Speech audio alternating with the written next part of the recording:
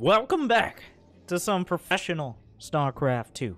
Two of the best players in the United States of America facing off. I believe this was just a ladder match, but both players agreed one of the most intense matches they have ever played. Uh, referencing Cheesadelphia, which Future won, but they played dozens, if not hundreds of times. Jon Snow, the Zerg, you've probably seen him a little bit before, ranked at the second best player in North America in 2018, behind Neeb. Um, whereas Puck, I believe, was third or fourth, um, with Future maybe climbing up the rankings a little bit, partially because he kept beating Puck and continues to. But that's a story for another day. So I'll, I'll describe a little bit of these players. there you go. Uh, of their styles, because it's a bit of a clash. In the bottom left is Jon Snow from Psystorm Gaming, his team and sponsor. He is, he is more of a macro-focused Zerg player.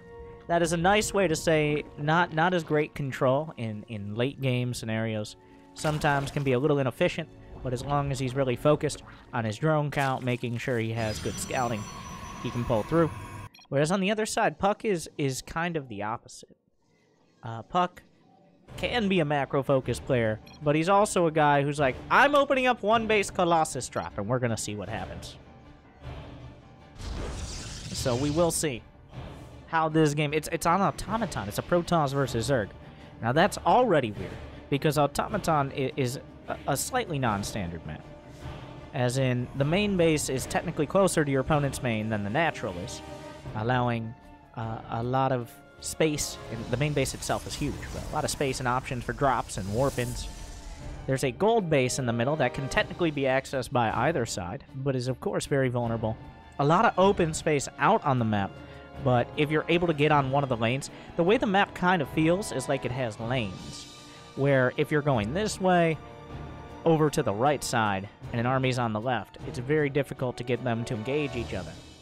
So that that kind of map, and especially one combined with a lot of drop or Nydus or Warp Prism potential, creates a lot of base trades as well. So I don't know what happens in this match. I just know it's worth watching. I'm already excited. Good. You can tell Now they're friendly, have your Attention. but not friendly Merry enough to give away Winter. a free win. It's going to be a classic start of Stargate from Puck. Probably a Phoenix into Oracle. Some players mix it up and go for the opposite, Oracle and Phoenix, but it's pretty rare. Behind this, Jon Snow opting for a quick third. He's got Zergling speed, but only mining one out of three in gas to maximize the minerals. Make sure he gets the queens and the drone count up. Overlord's on time. A few more Zerglings coming out. That's to just body block uh, and potentially catch any Adept harass. I'm surprised Puck actually moved in here. Goes into the main. He might find an opportunity to kill a drone. Oh, he body blocks the drone, but Puck misses the shot and loses the Adept. He kills one. Already, some some little micro tricks used there. Behind this, okay, Phoenix, Oracle. Now, what direction? If Puck does not take gases at his Nat soon, he's looking for a third. Whereas, well, okay, he's taking them a little on the later side. Is it going to be a Twilight or a Robo? What's the call, Puck?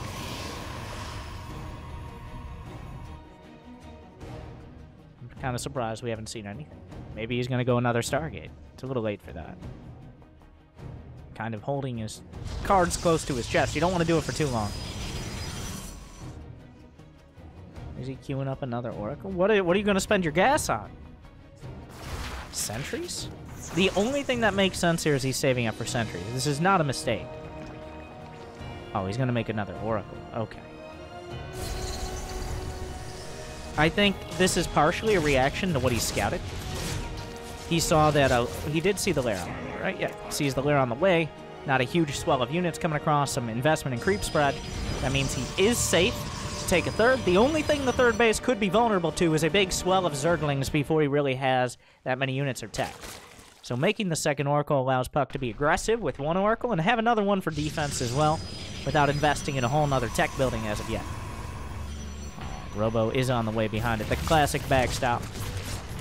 Two queens more than enough to drive away the little bit of harass the Phoenix and Oracle can do. Seven roaches. When Puck sees the... I mean, when Jon Snow sees the second Oracle, is he really just going to try to bust through? Because 11 roaches... Double-digit roaches are a... Uh, well, yeah, he's going for it. The Queens! Brenda! We said we're gonna watch side by side like the Avengers trailer. What are you doing back there? I'm in the back because I'm the dark one. I'm the one who gets all moody and I have feelings for someone I can't have feelings for. Anyway, moving on. The roaches decide to push them out of the way. Would you guys walk on one side of the road? Now this is entirely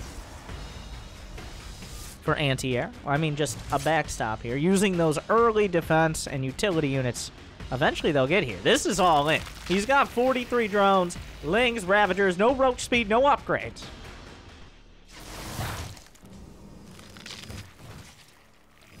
It's all coming down to it. He's got a handful of force fields. Those can be broken down by the Ravagers. Will the Oracles activate here? Does he expect the Queens? Of course he does. Are we going to see a tag? No, he's just going to save the energy. Maybe get some Stasis Ward. Stasis Ward's going to be a big part of the defense. Needs to get him online as soon as possible going to activate them, make sure he can't slide around too easily. The Ling's already coming through to trigger those exact stasis wards. He might be able to get one. The sentries already under fire. The corrosive bile's coming through. Almost snipes off an oracle there. A lot of army coming for Jon Snow. He knows how important it is to open up as much surface area as possible. The shield battery's coming up. The tech behind this. Immortals. 1-1. All in the mail and a long way from being delivered here for the Protoss player. The stasis actually does surprisingly well. I thought he saw it. He might have been uh, slightly out of vision. A lot of the Lings are trapped in. Oracle's waiting for their opportunity to draw on some fire. The shield battery's at the back. Still a lot of energy on the sentries. The shield battery's coming back online as well. Good force fields to start. A lot of energy on the queens. Both these, neither of these armies can kill each other very quick unless they're massive corrosive bios, or the oracles are allowed to do DPS for too long. Another round comes in. He's targeting down some of the roaches. He knows the queens are actually pinned to the south side. The corrosive bile gonna break some of the force field. The oracles will survive. Puck retreats up the ramp. Almost out of energy. Two immortals now. A hand, maybe one or two for no, no more force fields if you lose the sentries. More zealots being worked at the back. He needs meat shields. Another immortal coming out. It's almost done. Another oracle joining the field. The queens, lings, and ravagers are breaking through. The oracles stay on the line. 10 kills, 9 kills on these Immortals. The Oracle's doing their best. One will be taken out. The other's mostly out of energy. The Queens are as well. Corrosive Bile's coming through. Another Oracle taken out. The other one badly bruised. Its shield's is nearly down. But three Immortals, enough to drive this attack back. More Lings coming through. There is no Twilight Council. He invested in so many Oracles, he had to delay his tech. The Queen's eventually assassinated but Ravagers and Lings will continue through. Jon has no options here. He needs to do damage. He needs to kill the third or win the game. Those are the best options. If he can get a wrap around on top of the Lings, well, uh, not the Lings, the Zealots and the Immortals, then he can gun them down with Corrosive Bile. Also, the shields on the Nexus nearly gone. Already a round of Corrosive Bile is coming through, knocks it down, down goes the Nexus. I said that in like three different ways. It was very important. That's why. The Force Fields. He can break through. The Corrosive Bile gonna knock down one of them. More corrosive biles at the front. The Immortals trying to hold the line. The barriers are used. Most of the Lings are gone. The Oracle doing its best. Corrosive Bile going to be mostly dodged out. One will connect. Another one, the Immortal, he's down to two. How many Immortals have been lost in this match? He He's lost two, so half his Immortals have survived. Jon continuing to try to break through, but Puck retreats behind his final wall. Another Oracle comes up using whatever tools he could possibly have. Jon tried to kill him puck. He, he took a beating. He bent. But he did not break. 59 probes. You probably should have calmed down on the probes a little, puck. But no third. Whereas Jon now scrambling forward when it comes to the drone count. 9, 10 drones on the way and counting uh, overall. And taking the gold. Trying to use that map control he has with such a huge unit count. Obviously, Puck not feeling comfortable moving out with the army he has at the moment. The unit's lost. Nearly even. A little bit more gas for Puck. And that mostly comes from the Oracles and Sentries being so expensive on that gas count. The Archons are coming up, and Puck is is putting together... He's actually invested in Double Forge, which is quite expensive in this matchup, where you're really focusing on getting tech like Storm as quickly as possible. But if it does pay off, then his army's going to be very cost effective, especially against these mid-game units, like barely upgraded Zerglings. Zealot's being taken out, another group. On the way, Archon spotted. Oracle's coming in, looking for an opportunity. Gonna notice the first thing is, is not that many drones here. The second thing is why you getting so much gas. Uh, uh, loses one. Is it gonna be both? Oh no. He was distracted a little by the Zerglings on the other side. It looks like Jon lost on the Lings, but the Oracle is probably more important at this stage of the game. Phoenix comes in and scouts. The Lings get into the natural. And now Puck will be losing a handful of... Well, okay. Yeah, he's going to lose probes. Like, there's no way he doesn't lose probes here, right? Oh, this is kind of awkward. Why are they still here? But Lings in the third. What? No! No! Ah! He nearly killed his own Nexus, which is bad. Um, pro tip. More Lings in the natural.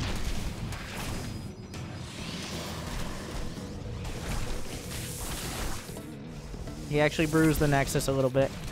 These Lings have been doing an incredible job. He's managed to pick off most of the workers he lost, uh, that Puck lost, were to those Lings in this last valley.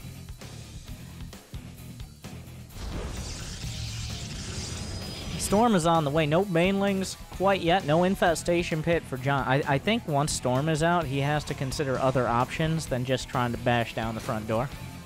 Uh, whether it be Swarm hosts or Lurkers or ideally Broodlords, but that he doesn't quite have the position to safely go Broodlords right now. The Immortal count four. We're gonna see a Warp Prism right now. This makes it makes a lot of sense because as he's going for the storm and he's gonna be trying to get a fourth. One reliable tool for keeping a Zerg player back at home is a Warp Prism with a bunch of charge lines. Okay, didn't work. I was gonna look real smart. I was I was banking on it, but sometimes doesn't happen. Occasionally. That Ravager took the wrong road. Never forget. Hallucinated Phoenix being used to scout this army coming up. Storm is done. Just walk right through with Storm. He's going to bully his way forward. He doesn't see the Banelings. The Banelings are the big kicker. They don't have speed yet, but plus two and speed are nearly completed. Then they can one-shot probes, two-shot Templar, and, and, well, you apply enough Banelings and anything will be gone. Enough Banelings. A lot of Banelings. Well, he's got 21. Six more. The hallucination usage is very important here. Some of the char- a lot of charge lots coming out. There's nothing to scout it. Are the storms here? Baneling speed. Sometimes Baneling speed can really throw a player off guard. Oh, beautiful storms. But another flank is coming in. Most of the Templar are gone. He still has seven more in reserve at the third. No fourth base going to be coming up for Puck. A lot of charge lots on the counterattack. Oh, the Storm's in the center mass of the Hydralisk. Can he get an Archon off here? He's going to body block out. Does have a couple more Storms at the back. Once again, Deja Vu, Jon Snow streaming through. Immortals and Archons, but the charge lots are on the fourth base. The drones are forced to evacuate. Reinforcements coming through. Immortals will trickle in behind the Assimilator. Trying to close the distance. The Storm going to drive everything back. The Immortals now have the confidence to push forward. The charge lots at the perfect timing drawing Jon Snow back. He lost several drones. He's not going to lose the base, but having some pressure taken off him is going to give Puck a lot of leeway. He can rebuild the Templar, going to get some Archons. Plus three attack is nearly completed. Jon is working off of plus two melee attack and no ranged attack upgrades. So that means, essentially, if he doesn't have overwhelming numbers of Hydras and Ravagers and all that, and he's not going to be breaking through. If you don't have Lings and Banes in front to clear out the charge lots and tank some of the Immortal and Archon shots, you're going to have a bad day. No matter how much you think you have Storm, can be better. Plus one ranged attack. Is there going to be a, a more advanced tech transition from Jon? He's going for Overlord speed. Baneling drops with plus two can be devastating, and Puck has lost a lot of workers this game. He's down to 54, which is still not an incredibly comfortable economy. One good Baneling drop. Oh. A dramatic pause. A parlay. We don't have time for that here. The creep is filling in around the sides. Gonna help out a lot, especially with the Hydras and Banes. Make it a lot easier to defend.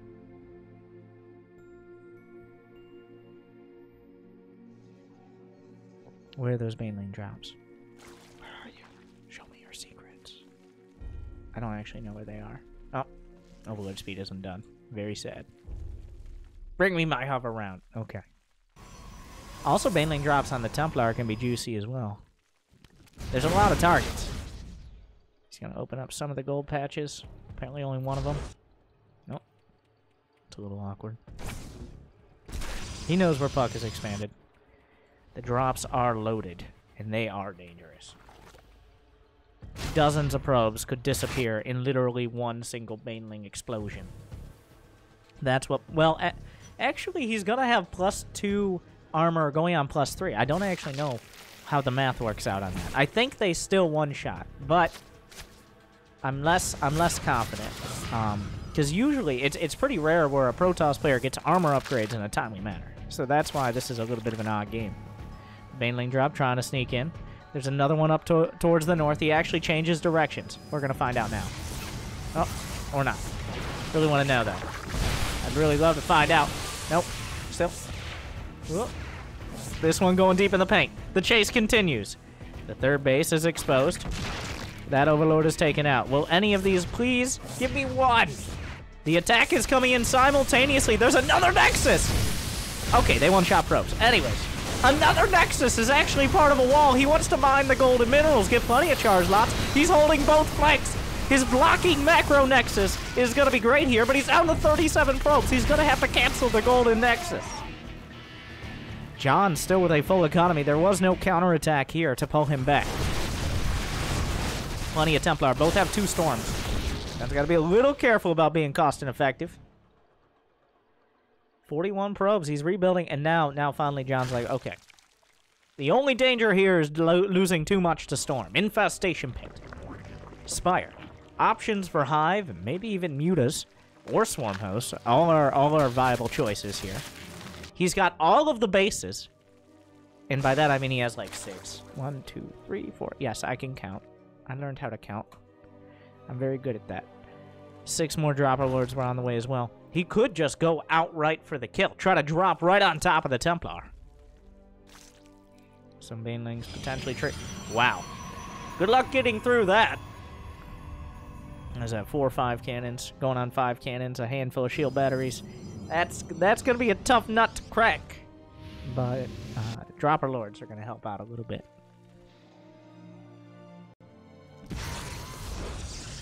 Immortals and Archons still the most cost-efficient army he could have right now. How many Immortals are left? Three.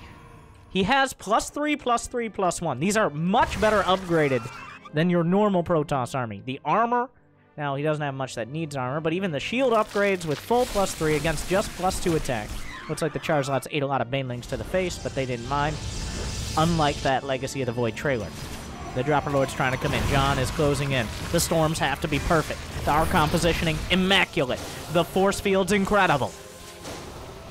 He's trying to dodge the storms with the Overlords. He should probably add some Hydraling Bane into the mix, and he does. The Archon's creating a, a energy shield, essentially. The Baneling, the Baneling drops are closing in. Still more storms being used. Another round. Beautiful storms. He's holding the line. The drops all over the Templar. Devastating, incredible damage. Is there enough to finish the job? Pretty much out of energy on the batteries. More storms. Reserve Templar join the fight. A new challenger approaches. Are there enough Hydras to break through? Jon, not quite yet. The Selecto Army Hockey looks like it was used. He needed everything at home. He gets another one of the Overlords. He's gonna drive the Hydraling Bane back. Oh, and Jon didn't start the Hive. He's just now starting it. If he had started it during that fight. Now, of course, like many of us, thought that was gonna be the closer. But the Storms, the Templar coming up from the back, pretty much perfect Archon composition. You couldn't take a better fight. I mean, he still lost a lot. 15 Templar have gone down, most of them in that last fight. But the lack of Hive means Puck has some time to rebuild. Looks like a few drones were lost either by... Well, he does not want to deal with charge lots. One DT comes in. There's no Spore there. Still Puck is struggling. Well, his natural is essentially mined out. There's 90 minerals left. So he doesn't really need more probes. He's doing a whole lot of not dying. But it's still a long way from winning. This is an opportunity. The Hive is not done yet. It's still Hydraling Bane.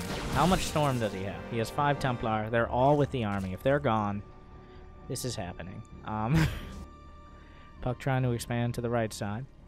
If Jon Snow lets Puck mine from another base for too long, I, there it is. The Greater Spire. The closer. There is nothing. There is not the economy. He might have blank. He might have 3-3. But on the economy Jon has compared to Puck. Brood Lords. There's there there's nothing that he can really do, barring Jon throwing away his whole army to Storm. So he's gonna need to do more than that. Good Storm. Baneling's trying to trickle through a single Zealot, the real MVP. The macro Gold Nexus comes up again. Six Corruptors, two Vipers. We've been dragged to Tier 3. Jon has it, hasn't yet scouted the base in the right side, on the right side. Whatever word is the best word. He's closing out all the options. He, he needs to, if he could kill that base, that could just end it. Well, not end it, but that's what he needs to do. He can't, okay, now he scouts it. Yeah, go deal with that. Go deal with that, Jon. Looking for the flank.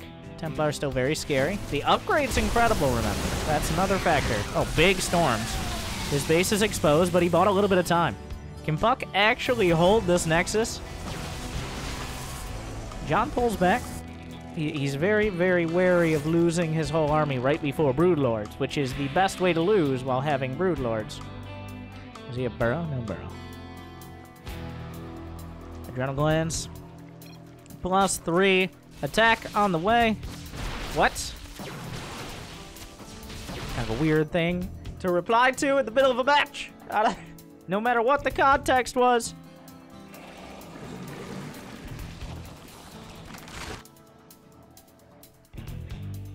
Jon loads up another drop. Uh, Puck only has 53 probes, but that means his army is, is close in value. He's being allowed to mine, and his defense has been incredible. Like like I mentioned at the beginning of the game, Puck, the micro player, the micromancer, and Jon, the macro hammer. A lot less finesse, but a lot more units. Baneling drops are going out. Trying to take this roundabout path. There are a weird amount of necks on a screen at once. It's kind of surprising. The Baneling drop going to be shot down. Puck will block one edge of this. But in comes the spear. Now, using this little tiny pillar here, gonna make it even harder. If there isn't high ground vision, you might even be able to keep him from seeing the Broodlords. Gonna get some abducts. Oh, he abducts the Templar, which allows them to storm the Broods. I don't... I, a questionable decision. He brought the Templar closer. A lot more is on the way. Puck will hold. That was really kind of those uh, those Vipers to help him close the, the distance there. 103 army supply. He's got Lings and Hydras on the way, but Puck now has an army literally storming across the map. It's 3-3-1 upgrades against 3-2. Only attack upgrades. This base is gone. Jon still has a lot to work with. A couple Hydras will deny some mining. It's kind of an awkward scenario. He can break through the rocks now that the minerals have been taken out. Jon gonna split off a little bit with plus three and with uh, adrenal glands. Now, he's actually supply blocked because so many overlords have died. But here come the Lings and Banes! Puck! The Templar are gone! He's bitten off now more than he could chew on the creep. And down go all the Archons, the Templar, and the Immortals. He'll defend his base. But he lost all of his important units. More Templar were warped in. I don't know where they are. Do they have storms? No, they were just warped in. They're fresh. And there's no more Khaydarin Amulet upgrade. Rest in peace. But John Jon is down to 66 workers. Like he needs to he needs to finish him. He needs to bring that hammer. Oh, this could help. Oh. oh my god, they don't die in one shot if they have plus 3 armor and plus 1 shields. Just barely. 1 HP. He's finally blocked it. Because there's not plus three attack. Puck doing so much with so little. The spine, he blinks into the spines. A bit of a questionable decision, but This base, that's a lot of the drones here. That's a lot of the drones. There's, uh, Jon's under 50 drones. Wait a second, is Puck doing it? He j Puck refused to break. Oh, he's gonna recall out the Zealots. The rest of the army could be flanked, but... Well, the Templar are forced to use their storms. Puck, well, Jon now has a deadly army supply. How many storms are left? That's what it comes down to. It's Hydraling Bane against the Gateway Templar. No Immortals left. More Templar taking out some storms. He's going to block it out. Even the uh, uh, Overlord's getting in on the action. Incredible storm. He's going for the throat. He wants to kill the probes. He will. Many of the probes going to go down with this, but the army stands strong. And also, he didn't kill that many probes. That plus three shield, plus one shields, plus three armor is actually really good. Super expensive. How many storms? There's one more storm. It's a big one. The lack of Carapace upgrades are actually making this Zerg army so flimsy, he's cutting right through it. The Blink Stalker's incredibly cost-effective. Plus 3 melee and plus 3 ranged attack, but he literally and figuratively cannot weather the storms. Five probes at a time building. Jon has has been put in a very uncomfortable situation after it looked like he had what it what he needed to finish the job. Protoss army still around the mainland. Like, if there's no storm, there's the Protoss is dead. That's the way she goes. But there is. Wait, 64, 60 energy. He needs eight or nine more seconds. His base is gone. His base as well. The charge lots just pulling him apart. Unfortunately, the army caught in the center. This Hydra, the real MVP, gonna kill a few more probes. Good luck, Zealots. They gotta take the long road. Jon down to 42 drones. He has to build more Overlords. You never want to build more Overlords at this stage of the game. The army, like, the Stalkers will blink forward. A bold move, but maybe the correct one. The Storms covering the retreat. Banelings closing the distance. A big round of Zerglings taken out. The cannon's the backstop. Oh, he runs right through the storm. He, it's too late. Fuck. He's baited him in to the storms. And the cost effectiveness of that double upgrade Protoss comes through. I feel like it, it, so many times everybody's done that before. Everybody's done it. They've it's like, well, why why isn't he leaving? He's dead. He's a dead Protoss. Dead toss. Not a Protoss, a dead toss. Guess what? He ain't dead yet. He he bent and bent and how I don't know how many storms were cast. Um let me see. I can actually see that. Puck cast. 59 storms in that match.